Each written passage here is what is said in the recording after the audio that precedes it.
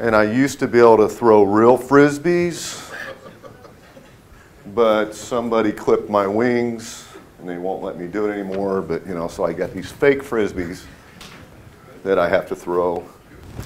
And so anybody want one? Flying disc, flying disc, flying disc, flying disc, flying disc, flying disc. Usually, flying disc. That was for you. Man, you got to teach those Frenchmen how to catch. Flying disc, flying disc, flying disc. All right, so cheap, cheap. All right. That's enough out of you. All right. Okay, so this is toward an attribute-based, role-based access control system. I gave a lightning talk on this at ApacheCon, and they they were joking. They were talking about roles like they're th- roles to eat. And no, it's not that kind of role. It's wonderful to be in Sofia for LDAPCon. It's always great to be here. It's a great honor. That's me, that monkey dude. And I'm a software architect. And I work with the Apache Directory Project with my colleague Emmanuel and Karen in the back. Moonlight with Open LDAP. Ride my bike mostly. So we're going to talk about some access control methodologies, specifically role-based access control, and how it can be improved with attributes. What is role-based access con- control? We've talked about it here many times. Talking about a specification by American National Standards Institute, ANSI, specifically INCITS 359. Them cats right there were the really the main dudes, Dr. Kuhn, David Ferraiolo, and Ravi Sandhu, very influential gentlemen from NIST. So what is role-based access control and what relationship does it have to the Starship Enterprise? I mean, don't those guys look about the same? But, and are they still using role-based access control on that Enterprise? We don't know. Haven't we been here before? Indeed, we have. We've talked about RBAC many times. Every time it's new? Yeah? You're too kind. Indeed, we have. Uh, my first LDAPCon was 2011. We listened to Peter and uh, Marcus tell us the pros and cons of using LDAP as a back end for an RBAC system. I got on stage and introduced Fortress, which is a project that I started that was um, donated to Open LDAP at that time. And again in Paris, we talked about it. That time I got on stage with Peter and Marcus as we uh, proposed a standard LDAP schema for RBAC, which was a good idea then. I still think it's a good idea. Indeed, RBAC wants to be in LDAP. It just has an affinity for it. That's why we talk about it. It just fits quite nicely. And then LDAP sort of has an affinity for RBAC. I mean, a lot of LDAP implementations, they want to they want to have a role-based access control system in there. So that's why we talk about it. That's why it's relevant. But at that one, um, my colleague Matthew introduced the RBAC Accelerator, which is a um, an Open LDAP overlay policy decision point that runs inside of Open LDAP. Kind of a cool thing. And then I continued on with that concept in 2015 at Edinburgh. And we actually took a break and didn't talk about it in 2017, mm-hmm. surprisingly. And here we are again. So, for the benefit of those who aren't as familiar with the concepts, role-based access control is based on a practice that's been happening for decades. Indeed, in the 80s, it was going on, and then that practice was turned into a model and formalized in the 90s by the NIST team. We already mentioned uh, David Ferraiolo and Richard Kuhn. And, uh, you know, the idea was to improve access control, to make it better, to standardize it. And eight years later, in 2000, Ravi Sandhu joined the team. And they fur- further formalized the model. It crystallized into a set of functional specifications that we'll kind of look at here in a minute. And that formed the basis for INCITS 359, which is called the core. And then there's some companion specs, one of which is 494, which adds attributes, which is kind of the point of this talk. So that is the canonical RBAC model. You have roles. Roles is a many-to-many mapping between users and permissions. Permissions is a mapping between objects and operations. So customer account read, that's a permission. Gets assigned to a role, gets assigned to a user. The session is really a key concept of RBAC. Just because that role was assigned to the user does not mean that it's going to be considered in the access control decision. That's a very important facet of, the, of this model. And then we have these higher forms of, so all of that is part of the base. In order to be deemed compliant with RBAC, you have to be able to do these things right here. And then there's these higher sort of optional features. RBAC 1's hierarchical roles, that's inheritance relationships between roles, which is used for the role engineering process. RBAC 2, static separation of duties, exclusion constraints between assigned roles, just because, uh, well, so if you have two roles that maybe if you gave it to a single user would give them too much power, say check approver, check writer, and you want to avoid a conflict of interest, you can, you can prevent that at the access control administration time with static separation duties. And, and three is dynamic separation of duties, which is exclusion constraints between activated roles. So maybe you can be assigned this set of toxic roles, but you can't activate them in the session at runtime. So we talked about the object model. It's very elegant, um, very concise, easy to understand. The functional model is the same way. The specifications outline the functions very explicitly. You have a set of administration functions, which is how, the administra- how you put the policy into the back end. So adding, updating, deleting roles, permissions, users, it's all part of that.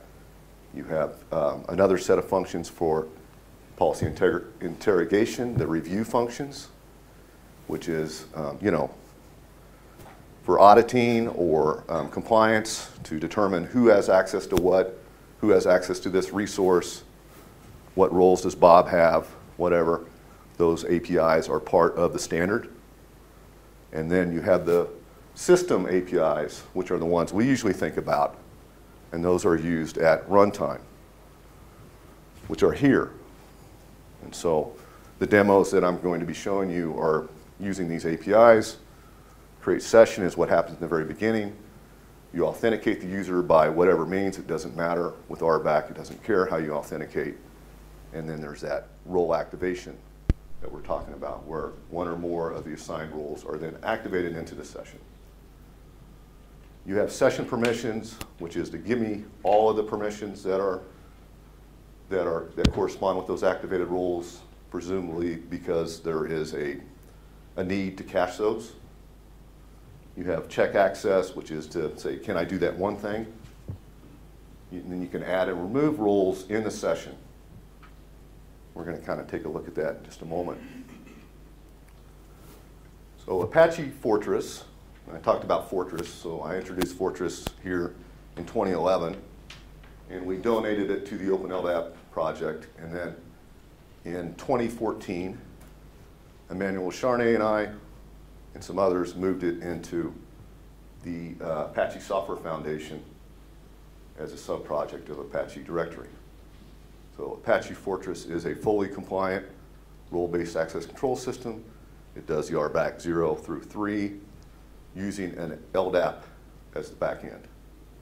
And so out of the box, it works with OpenLDAP or Apache directory, but it is indeed LDAP compliant, LDAP v3 compliant. So it would work with any LDAP directory, even Active Directory. Yeah, seriously. Uh, there's a few components that um, go with it. The core is the APIs. It's a Java-based project. And then for um, other platforms, say whatever, there's a web API in Fortress REST, RESTful system. And then it has a web component called Fortress Web that's, um, you know, gives you HTML pages for policy administration and review. That project is here. It's under the Apache license, fully open. We have a community that's fairly active, and we welcome anybody to come join us and, and have fun with us. Okay, so it's time for the first demo. Uh, I want to show you the Apache Fortress demo. This is a demo that I give a lot. It's really more for um, end-to-end security, web application security.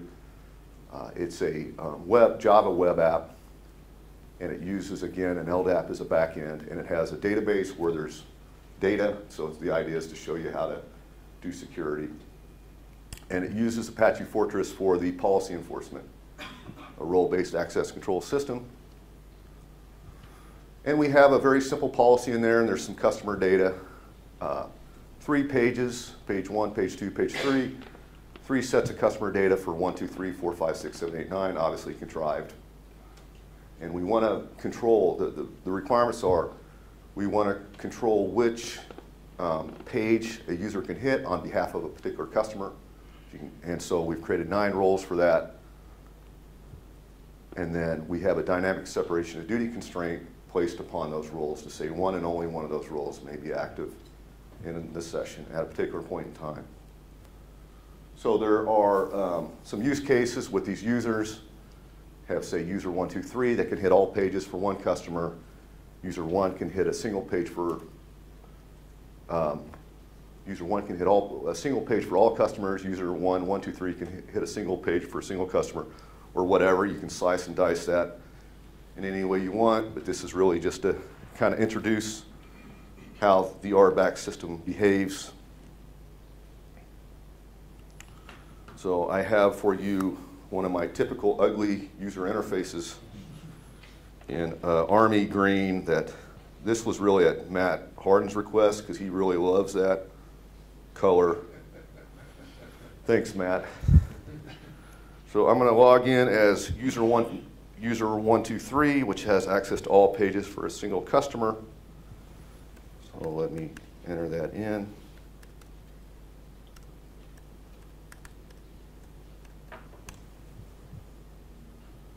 Get to the landing page and you can see the, um, the application understands the policy. It's presented me with links to all three pages.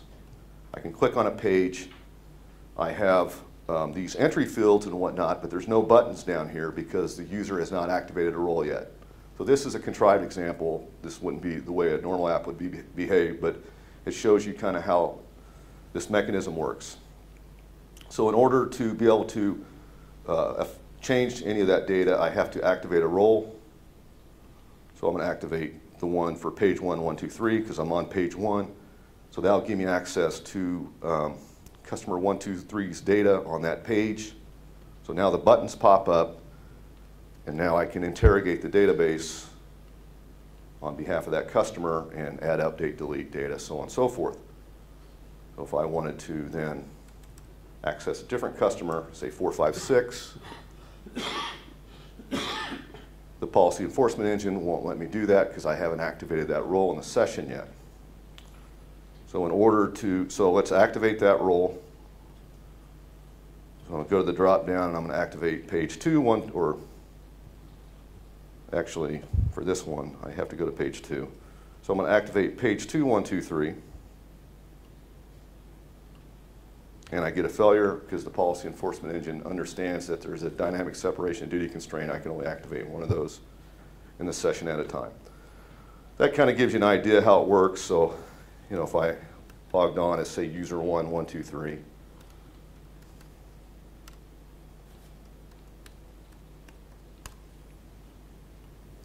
Again, the, the application understands the policy only presents me a link to one page.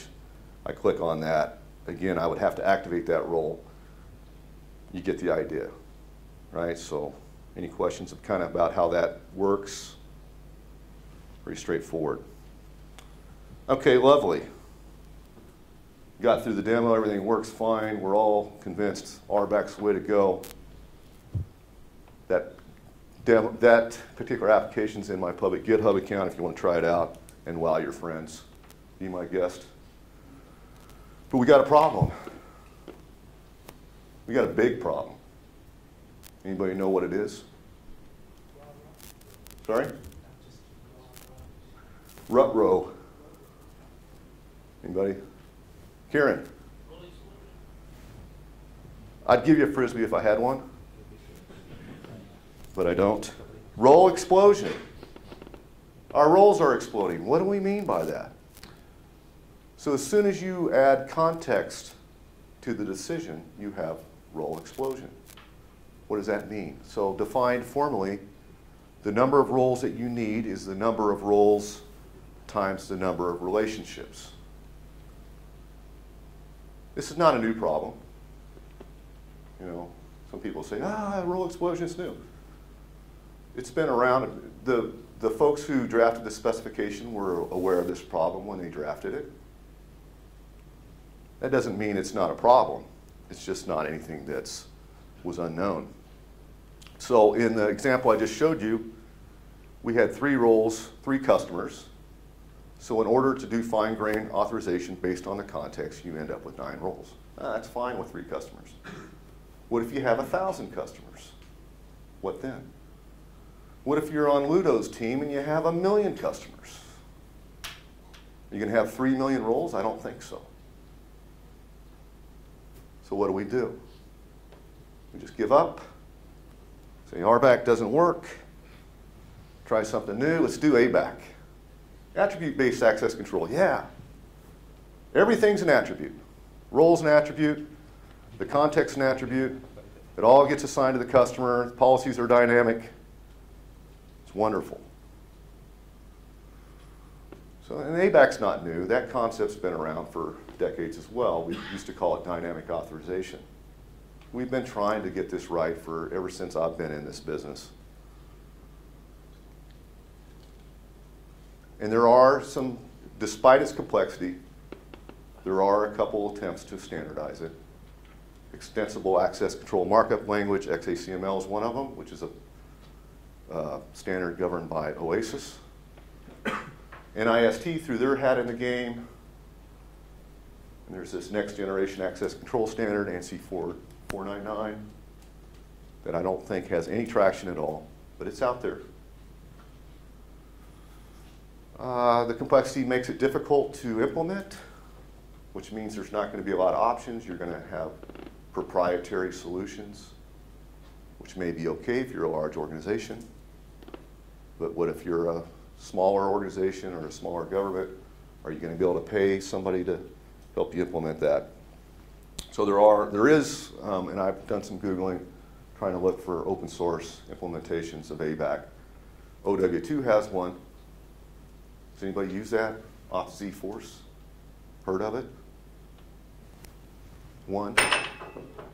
It's based on the OASIS XACML uh, standard. And in, in XACML, everything's a, a, an XML request. Okay? Between all the intermediaries, you, you format your request in XML and send it. So as I said, uh, ABAC implementations are, are costly, they're, they're hard to implement. You have to collect uh, the attributes and concentrate them.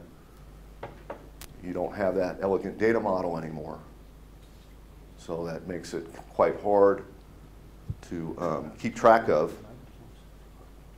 And you have to introduce, you know, different uh, services that, that um, support it. And so As a res- result, you have some performance issues. You know, XML between intermediaries is certainly not going to be as efficient as LDAP v3, try as it might. Complexity is a, is a problem. And as I've already said, traction. There's not a lot of traction in these standards. So, you know, this is the NIST publication of what an enterprise ABAC implement- implementation would look like. I mean, I think I'll just retire before I do that. So what do we do? Do I just retire and give up, say, or can we have another look? Is there, is there something that we can do? Can RBAC be saved? And the answer is yes, or I wouldn't be here. Um, I already mentioned uh, INCITS 494, policy enhanced RBAC, introducing uh, attribute modifiers into the, the decision.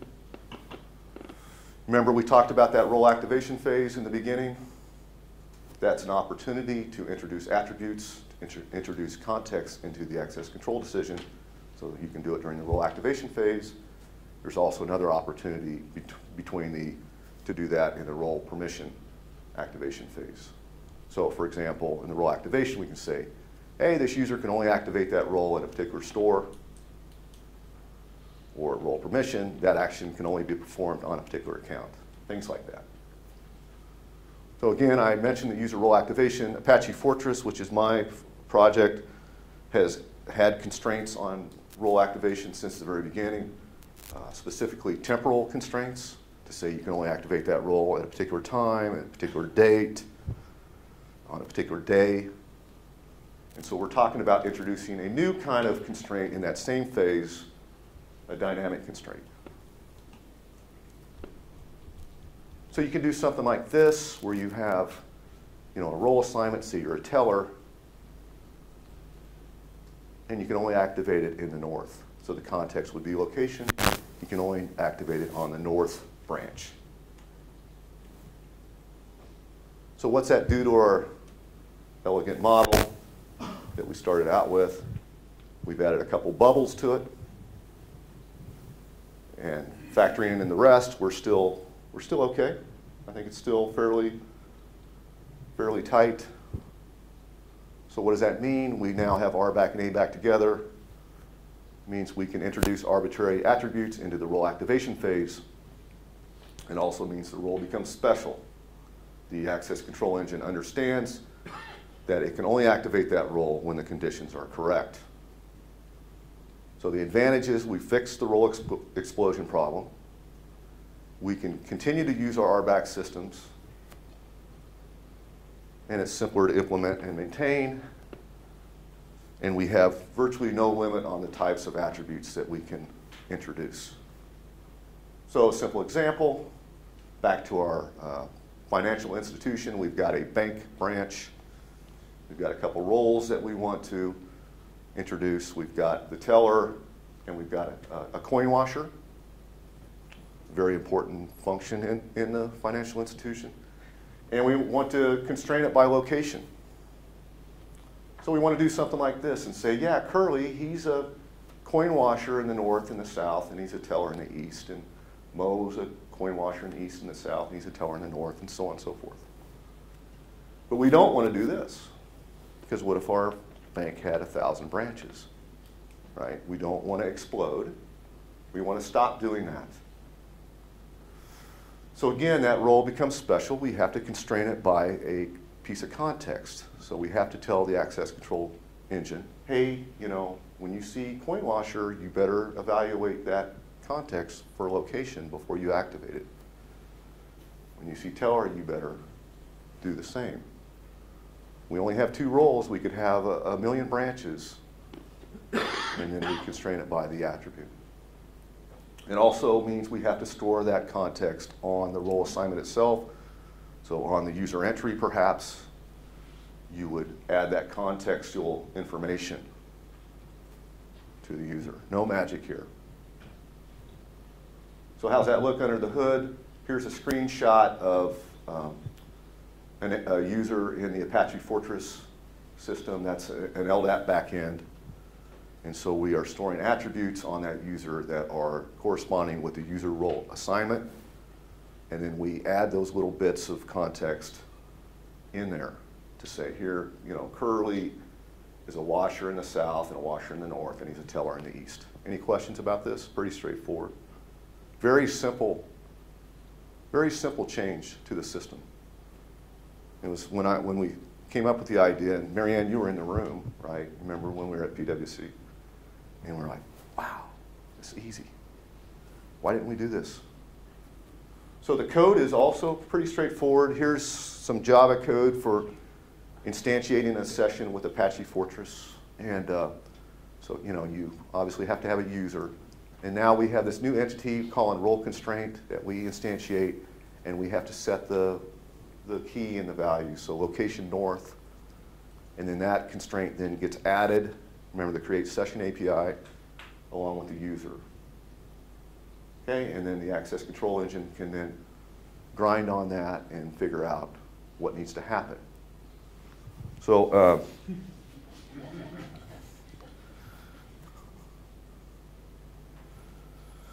um, okay, so just real quick. So here would be, um, you know, here's a test, just a simple um, JUnit test that's in the Fortress code base where we're grinding on these users. And you can see here we've got um, Mo, and he is in the, nor- um, the north.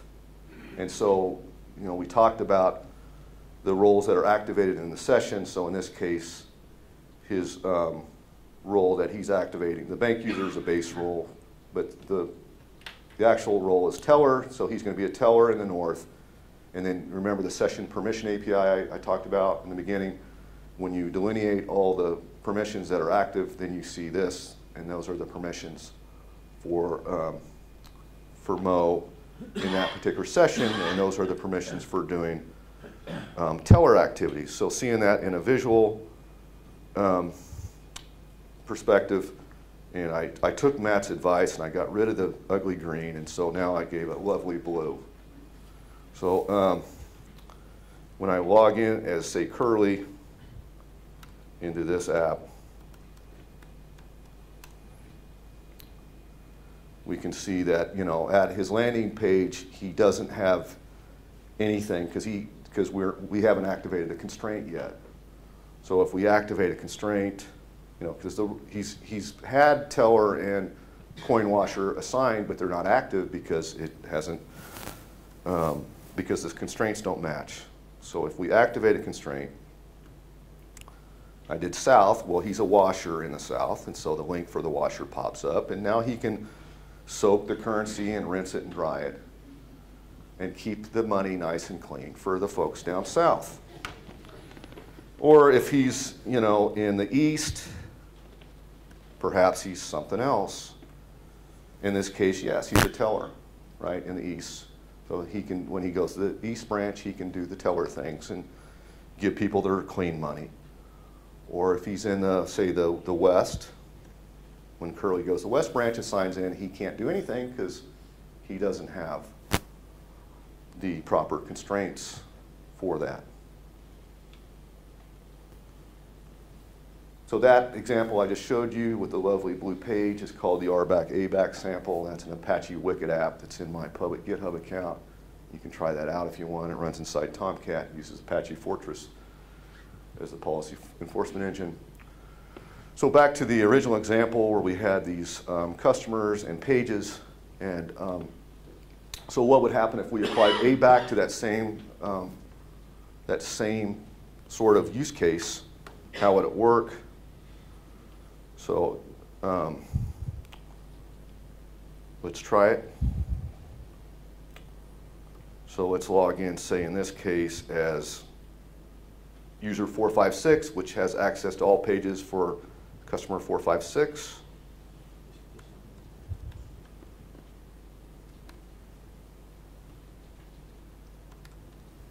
So this is combining RBAC and ABAC together the landing page looks exactly the same. You have, you know, the links for the pages, and again, he has access to all pages for a single customer.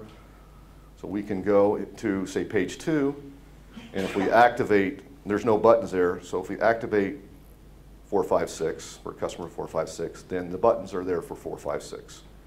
If um, this user tries to activate, say, one, two, three, no buttons because he doesn't have the privilege to activate that role on behalf of that customer. So that example that I just showed you is called the Apache Fortress ABAC demo, which corresponds with the first one. Same sort of policy, but just using, you know, fixing the role explosion problem with ABAC. So what are the next steps? So um, I showed you how to do dynamic constraints, doing user role activations, but what about role to permission? Because um, you can introduce attribute modifiers into that phase as well. So we're thinking about that. We're also thinking about dynamic policies rather than just a simple matching algorithm. You could have any number of kinds of policies that are introduced. So this is how Fortress does user role activation constraints right now. I mentioned earlier that there's been temporal constraints since the very beginning, and it's just part, uh, you know, in the configuration, you can just add them as many as you want. So we just added another one for the user role constraint, and it was just, I mean, it was so easy. And then we could do a similar thing for role to permission, and then you could do all, you know, just whatever. Any kind of policy you can imagine can be introduced. So closing thoughts, um, standard-based RBAC does not preclude the use of attributes. Nothing has ever stopped it. The, uh, the original specification has always allowed it, and indeed encouraged it. And there are specifications that surround RBAC, specifically INCITS 494, that prescribes it. That's the project, Apache Fortress. If you want to try it out, um, come join us. Those are the examples that we just looked at. You're free to check them out. There's my contact info. And I don't, do we have time, Nadia, for,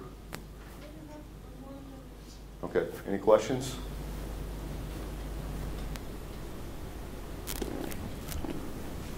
Uh, Some attribute-based access control vendors, they claim that they have something like, um, for example, like intervals, something like in insurance granting access uh, to an employee um, working on a case which is only a certain amount of money, worth a certain amount, Mhm. amount of money. Mhm. Ah, Okay. Um, the question is, um, do you have any ideas to implement things like um, a user has access to, for example, an insurance case, when the insurance case is below a certain limit or something? Good question. Yeah, and uh, so the answer is yes, you could introduce limits. Um, so back to this slide here. Right, so on the role to permission phase, you could say that permission, you can only do that action if the, the value of the transaction falls between or some certain values. You could absolutely do that. Not, it doesn't do it today, but yeah, that's, it could be done. Any other questions? Okay, it's, oh, Peter? It's a question more for Matt than for you.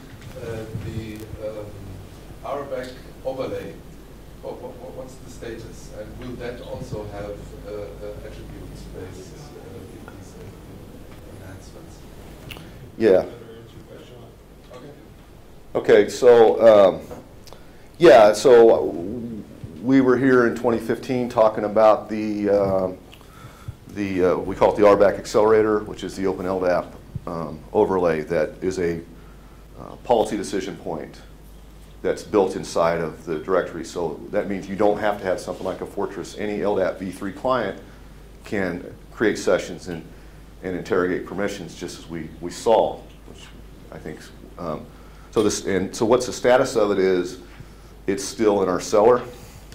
Um, We're trying to figure out what to do with it. Um, But it's, uh, I, I think we need to release it. And, um, but yeah, right now, it's still sitting there. It's uh, still, you know, the code, it's it's being tested, we just haven't released it, so. Any other questions? Okay, it's a pleasure to be here today. Thank you very much.